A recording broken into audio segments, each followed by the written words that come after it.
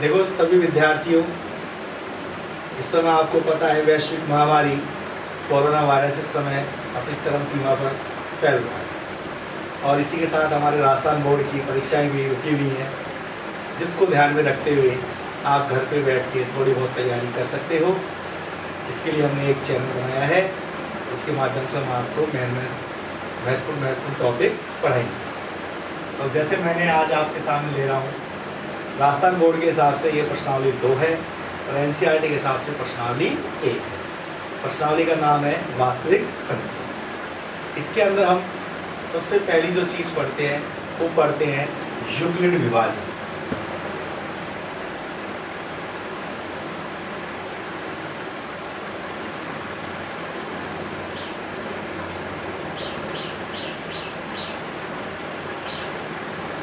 युगलिड विभाजन क्या होता है?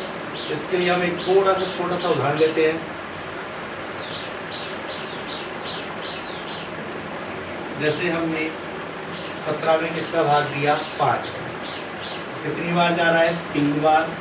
पाँच दिए, पंद्रह। शेषफल कितना बच गया? तो ये जो हमने भाग दिया है, इस भाग के अंदर इस पाँच को हम बोलते हैं भाजक। तीन को बोलते हैं, भागफल।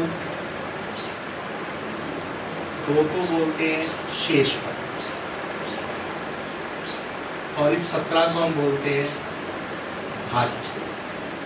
तो हमने छोटी क्लासों में फार्मूला पढ़ा था, भाज्य बराबर भाजक इंटू भागफल प्लस शेष इसी को ही हम क्या बोलते हैं? युगल विभाजन एलोग्राफी इसको हम शॉर्ट में लिखते हैं ए बराबर D Q plus R A हमारा क्या हो गया? भाज्य। डी क्या हो गया? भाजक। क्यू क्या हो गया? भागफल। आर क्या हो गया? शेष। यही फार्मूला किसका कहलाता है? युक्लिड विभाजन परमेय का। इस युक्लिड विभाजन परमेय के द्वारा हमारे जो कोर्स के अंदर है, वो एस सी एफ़ ज्ञात करना है। क्या ज्ञात करना है? एस तो अब हम देखेंगे कि युग्म विभाजन परिमेयिका द्वारा एस सी एफ़ किस प्रकार से ज्ञात करते हैं। यहाँ तक दोबारा सुन लें। हम सबसे पहले पढ़ रहे हैं युक्लिड विभाजन परिमेय युक्लिड विभाजन परिमेयिका सेम हमारे भाग के नियम पर आधारित है कि हमने भाग का जो सूत्र पढ़ा था कि भाज्य बराबर भाजक इंटू भागफल प्लस शेषफल। यही क्या कहलाता है? युगल विभाजन करने का कहलाता अब इसके द्वारा हम पढ़ते हैं एस सी एफ़ ज्ञात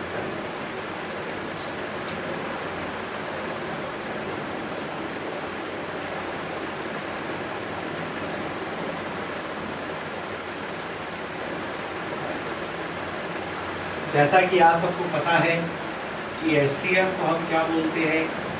हाईएस्ट कॉमन फैक्टर यानी सबसे बड़ी से बड़ी भाजक संख्या। ऐसी संख्या जिसका भाग दोनों संख्याओं में या तीनों संख्याओं में चला जाए लेकिन वह संख्या क्या होनी चाहिए? सबसे बड़ी होनी चाहिए हाईएस्ट होनी चाहिए।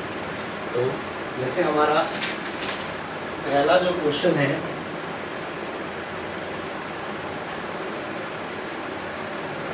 दो सौ दस और पचपन का भाग हम किसमें देंगे? दो सौ दस में। पचपन का भाग दो सौ दस में कितनी बार जाएगा? तीन बार। एक सौ पैंसठ। कितने बच गए? अब हम देख रहे हैं कि ये शेषफल हमारा भाजक से क्या आ गया? छोटा। अब यही प्रोसेस दोबारा रिपीट हो जाएगा। पैंतालीस में किसका भाग देंगे? पचपन का। कितनी बार? एक बार। शेषफल क्या बच गया? दस। शेषफल वापस भाजक से क्या आ रहा है? छोटा आ रहा है। और वापस वही प्रोसेस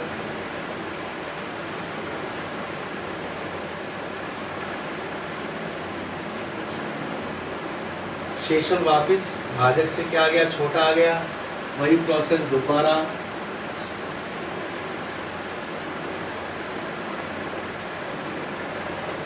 हम देख रहे हैं इसके अंदर कॉमन फैक्टर कौन सा हो गया? पाँच हो गया। कौन सा हो गया? पाँच। इसका एस क्या हो गया? पाँच हो गया। अब इसको यूक्लिड विभाजन के द्वारा कैसे लिखेंगे? जैसे हमने लिखा था अभी ए बराबर बी क्यू प्लस यहाँ पर ए ए क्या है? 220 बी क्या है? पचपन। क्यू कितना है? तीन। आज शेषफल कितना है। अब इसी को अगला प्रोसेस यहाँ पर ए कितना हो गया, पचपन। बी तैतालीस क्यू वन। और आर कितना हो गया? फिर वापस प्रोसेस ए कितना हो गया? पैतालीस बी कितना हो गया? दस। क्यू कितना हो गया? चार। आर कितना हो गया? पाँच। फिर ए कितना हो गया? दस। बी कितना हो गया? पाँच। क्यू कितना हो गया? दो। और आर कितना हो गया? ज़ीरो। तो यहाँ पर जो हमारा हाईएस्ट कॉमन जो फैक्टर है, वो क्या हो गया? फाइव हो गया। और यही हमारा क्या है? आंसर तो यही प्रोसेस क्या कहलाता है? यूक्लिड विभाजन एलोग्राफी दोबारा देखें। यूक्लिड विभाजन में हम क्या देते हैं? भाग देते हैं। तो भाग बड़ी संख्या में किसका देंगे? छोटी का देंगे। तो 210 में हमने किसका भाग दिया? 55 का दिया। भाग कितनी बार गया? तीन बार। कितने आ गए? एक सौ पैंसठ। घटाएँगे तो शेषफल कितना बच गया? पैंतालीस। तो यहाँ पर भाजक भाज्य 210 भाजक 55 भागफल तीन, शेषफल पैंतालीस।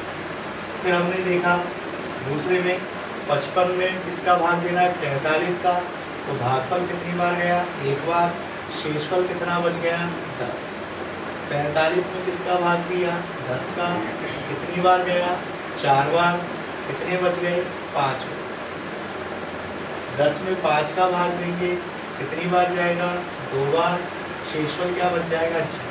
तो हाईएस्ट कॉमन फैक्टर यहाँ पर कितना आ गया? पाँच यही हमारे क्या कहलाता है? यूट्यूब विभाजन एल्गोरिथम कहलाता है। इसी के साथ एक एग्ज़ाम्पल और लेते हैं, ताकि अच्छे से क्लियर हो जाए।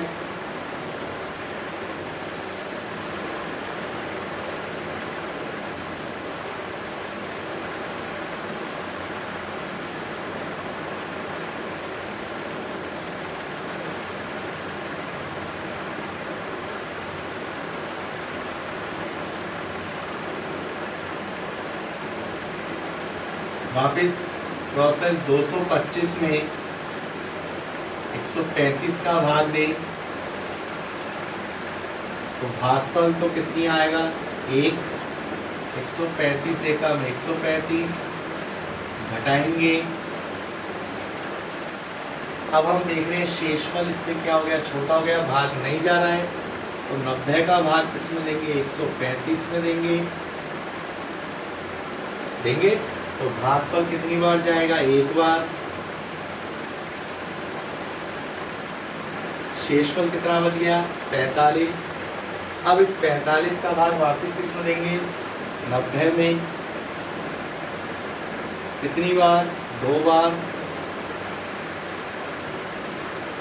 आ गया ज़ीरो। तो इसका जो common factor highest common factor वो कितना है? पैंतालीस। लिखेंगे कैसे? सबसे पहले स्टेप फ़र्स्ट 225 किसका भाग दिया? 135 का। कितनी बार दिया? एक बार। कितने बच गए? स्टेप सेकेंड 135 में भाग देंगे। 90 का।